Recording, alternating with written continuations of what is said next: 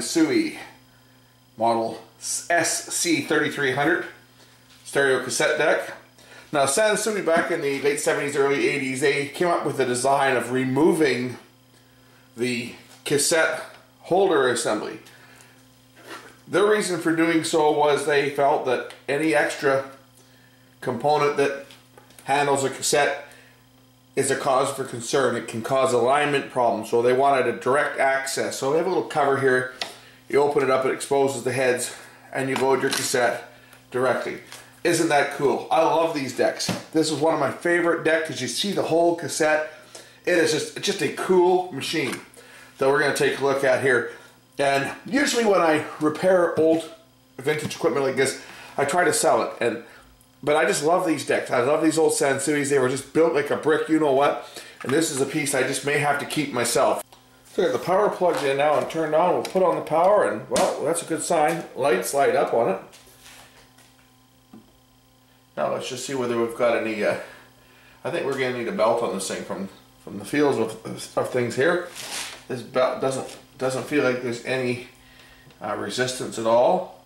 So I have a feeling it's going to be a belt that we need on this unit.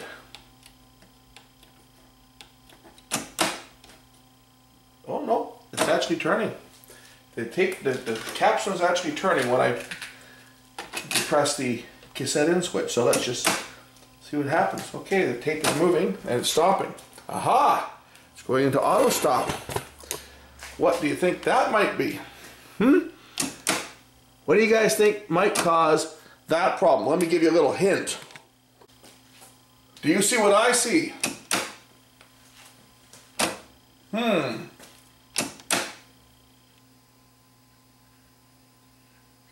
Now it's moving. We have any sound?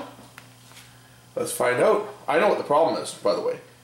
I know exactly what the problem is with this thing. I don't think there's anything on this tape. So I have to find the tape. Oh yeah, there is. There is some music on this tape. This is cool stuff.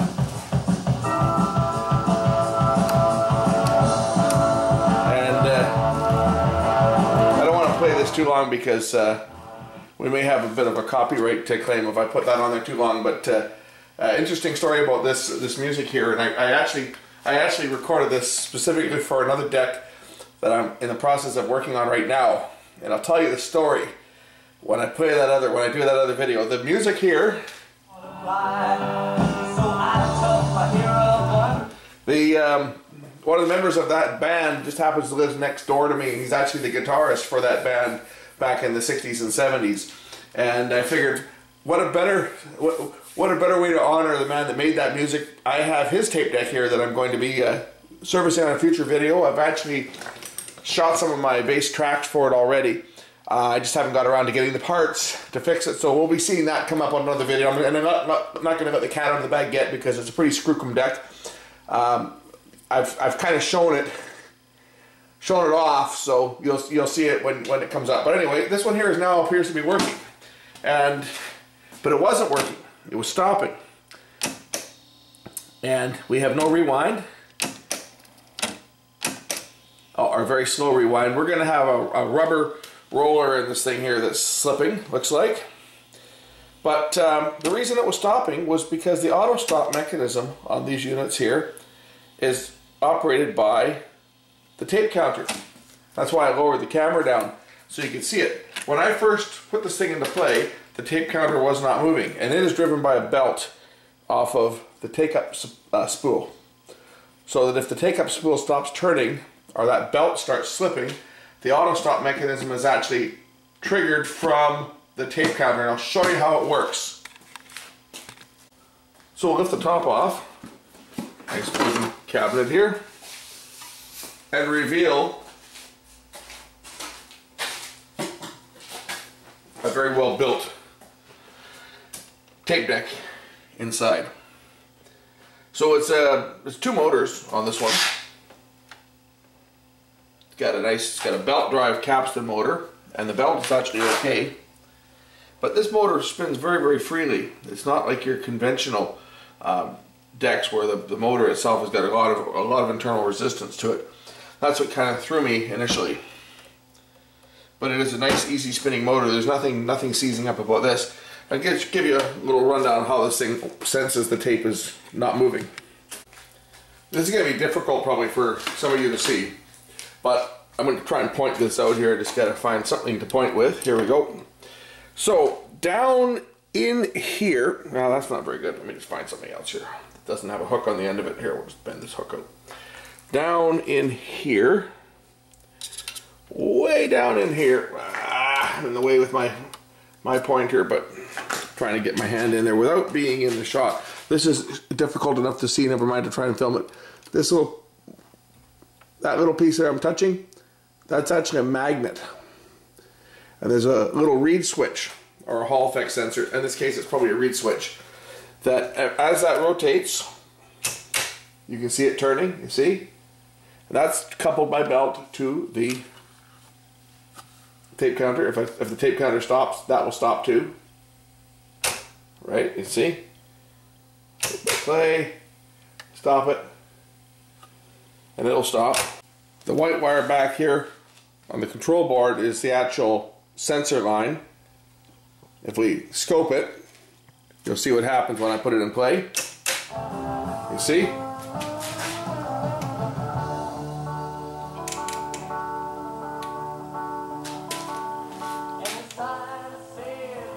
Just going to uh, try to put more gain on here so you guys can see it. I'm just going to shut that music off there so that they don't get upset with me. Okay, you can see what's happening here. There we go. Now you can see it. So as that reel rotates, if I stop it from turning, it stops. So all we've got is we've got a belt, either a belt that's slipping or one of the little bearings that this that the uh, tape counter rides on is uh, is uh, sticking a bit. If I go to fast forward, obviously it's a higher frequency. If I crank up the scope, you'll see it. There's fast forward. If I go to rewind, play, you can see that. So the problem we've got on this deck is a pretty simple one to solve. And I know it's mechanical, not electrical, because when I first plugged the unit in, the tape counter was not turning. So we either have a belt that's slipping, more than likely, we have a lazy belt, it's getting a bit worn, or we've got uh, a problem with the actual um, gear, the grease, maybe the grease on the on the top side here, in behind the shaft. There's a little uh, little uh, worm gear that turns the actual um, drums, the tape counter rollers or drums. So if that gets gummed up, of course, it'll make this stick a bit, and if this sticks, you're going to have the uh, magnet below it not turning. And if the magnet below it, you can see it down here. That's a little, actually a little better shot. You can actually see it right inside here, where my Q-tip is pointing. That is the the part that spins. So anyway, we're going to take this thing apart and lube it up and check the tension and check the belts and get this one back together because this is definitely a keeper. This one, or maybe if I don't keep it, I'll sell it. But uh, a deck like this is actually going to bring in some pretty good money. Um, most a lot of tape decks don't bring in much money, but uh, when you've got a, a, one that's of good quality like this, and this is one of the better ones, um, these ones here actually still can fetch a few dollars.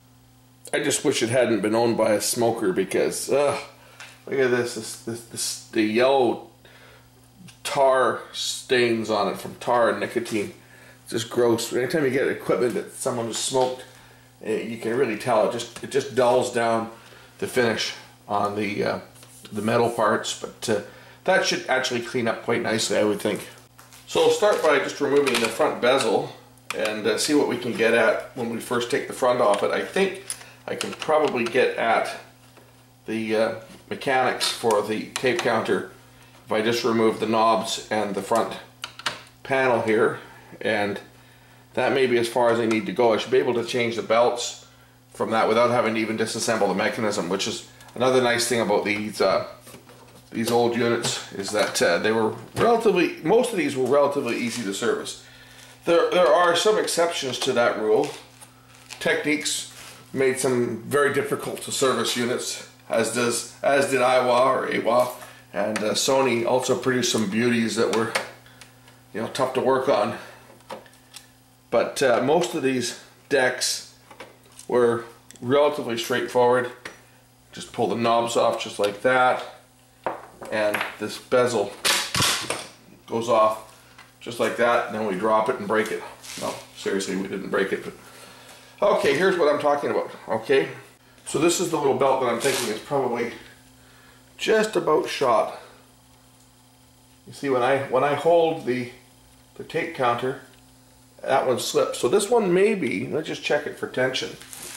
It may be that this is the one that's causing the problem.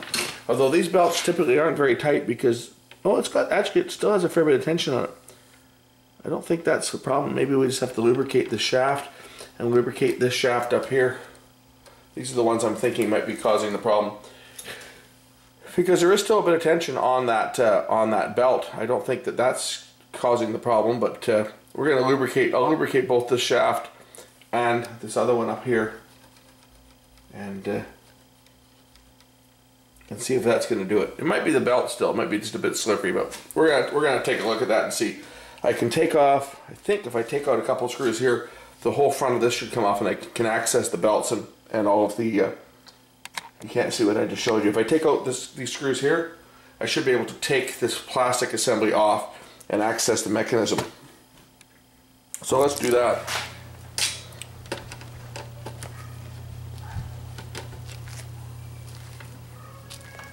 There's that bloody dog again. This goes on every day. Every day this dog howls.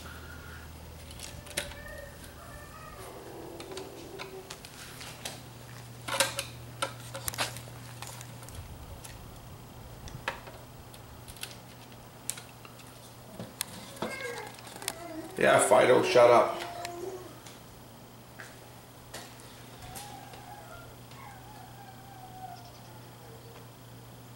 You hear that? I'm in my garage. The door is closed. Um, my office window overlooks their yard, and it just drives me absolutely crazy. Especially if I'm trying to do any voiceover work, I have to redo stuff when I'm trying to do voiceover work because uh, the uh, dog comes through on the microphone. So this is the belt here that I thought maybe is a little bit loose, but it, it actually feels like it's got a fair bit of tension on it. This is the one that slips.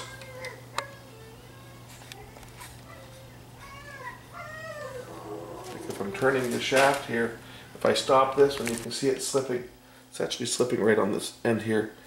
I'm just gonna take it off and check it out. I mean, it, it, it feels like it's got tension. Maybe we'll just clean this thing. I mean, it doesn't feel like it's ready to break. And that certainly turns easy enough. We're just gonna clean this thing. I'm just gonna get some alcohol and we'll just uh, give this thing a clean and see if that increases my uh, my, my tension at all on it. And of course got another belt over here and I'll also clean this one here. On the other side, over here on this side. That one, I think it's just, that one's just an idler, just a freewheeling pulley. Hmm. We'll also uh, put some, we'll put some rosin on the uh, rubber uh, wheels here. You see the, the the rubber drive tires here, these wear out too. So we clean the belt. I'm just using some uh, isopropanol alcohol, and basically want to clean all the the film. Like it's going to have a smoke film on it, just from this unit was in an environment where someone smoked, so it gets the film from just cigarette smoke, and that, well, you can see what's come off that belt. That right there is probably all that's wrong with this thing we'll put the belt back on here and put it around the pulley.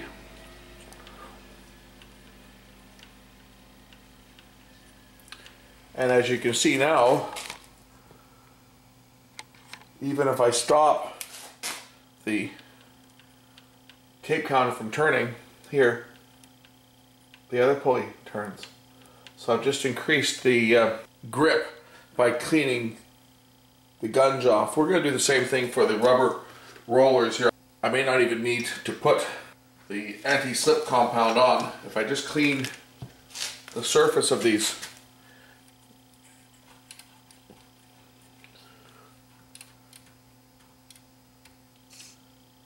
because the rubber itself is probably just dirty.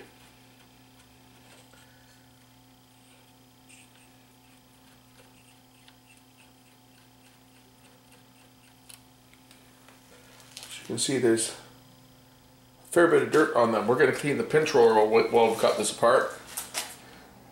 And then we can start reassembling this unit and uh, see how it works. So we'll start out by giving the head a good scrub.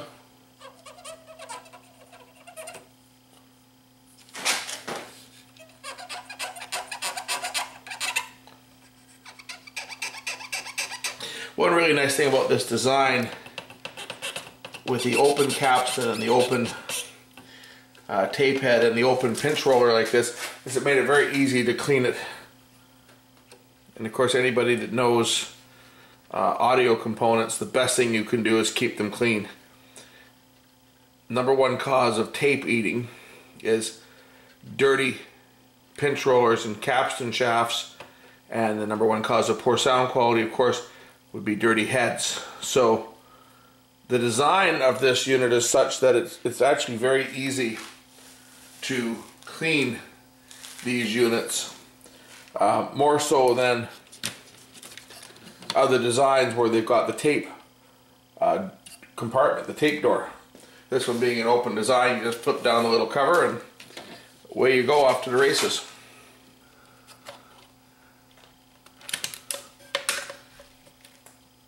So now we can put the front panel back on. Again, these units were very well built, very easy to line up the parts. As long as we get our switches lined up, the whole front panel just drops in place. We can put the screws in.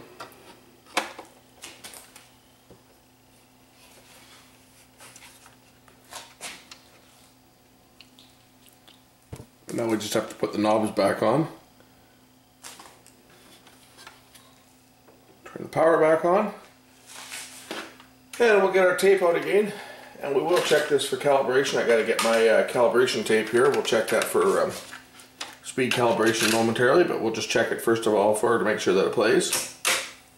And of course we have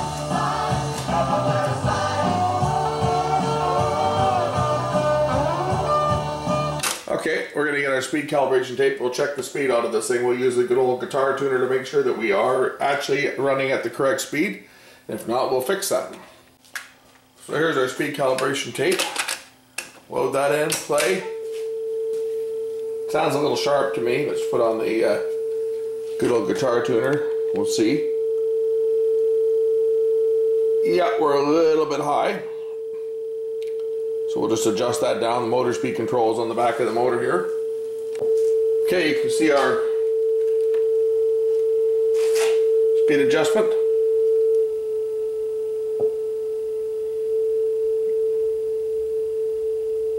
There we go.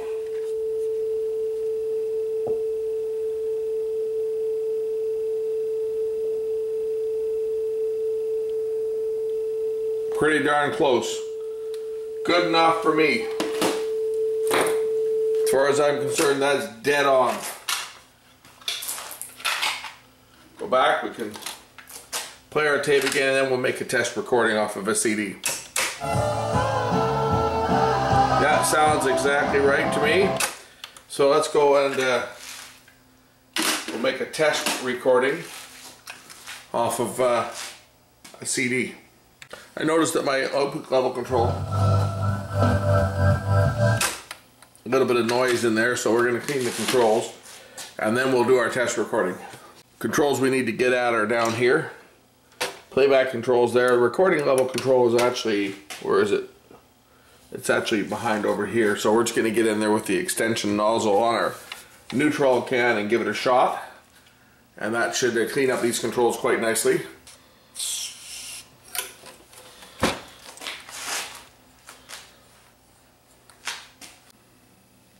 So we'll just set the levels on this thing first. We'll put it into pause, record and play. I can just start my music up here and we'll set our levels.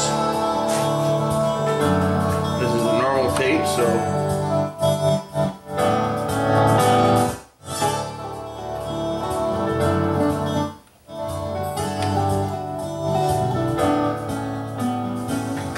Okay, so now we're ready to go. We'll, we'll recue the tape. I don't mind playing this music. This is royalty-free music, so we're good to go. Release the pause. The tape is moving. Cue the CD. Go.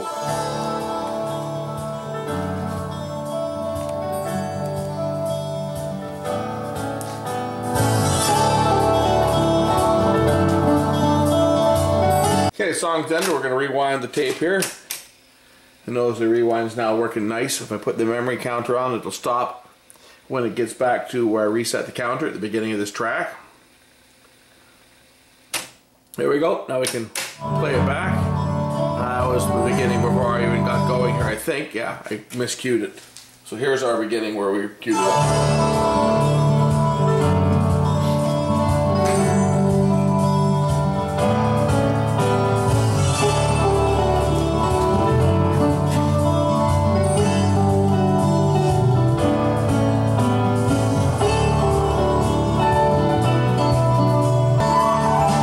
Say this one's fixed. Something else I wanted to show you on this. This is something I, I you don't see very often. Oh, let's go right back to the beginning here. I still have the, the, the memory on there. It has a tape lead in. To wind the tape forward past the lead in. You know, all cassette tapes have got the. Sometimes they called it the head cleaner. Like, um, I think it was Maxell and TDK. They would call it a, a, a cleaner.